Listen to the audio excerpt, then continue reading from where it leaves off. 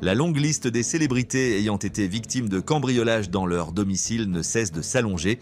Samedi 20 juillet 2024, l'animateur de M6, Stéphane Plaza, a également été ciblé. Les voleurs ont quitté les lieux avec un butin plutôt surprenant. Samedi 20 juillet 2024, une nouvelle célébrité a été victime d'un cambriolage à son domicile.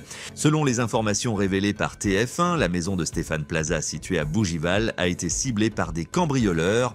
D'après le service police-justice de la première chaîne, les voleurs se sont introduits dans la résidence de l'animateur de M6 en sa présence. En effet, Stéphane Plaza se trouvait au rez-de-chaussée lorsque les cambrioleurs ont pénétré dans son domicile par effraction. Cette intrusion intempestive a déclenché l'alarme de la résidence. Néanmoins, les voleurs ont eu le temps de visiter le premier étage de la maison avant l'arrivée des forces de l'ordre.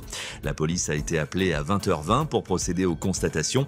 Toujours selon TF1, les cambrioleurs ont dérobé plusieurs paires de chaussures de luxe entraînant un préjudice total de 3000 euros pour Stéphane Plaza.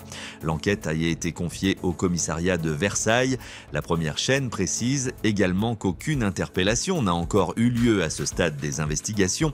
Pour rappel, Stéphane Plaza n'est pas la seule célébrité à avoir été victime d'un cambriolage ces derniers mois. D'autres stars du petit écran ont également vu leur domicile être ciblé par des voleurs. C'est notamment le cas du présentateur de Colanta, Denis Brognard, ainsi que de la présentatrice du JT de 20h de France 2, Anne-Sophie Lapix.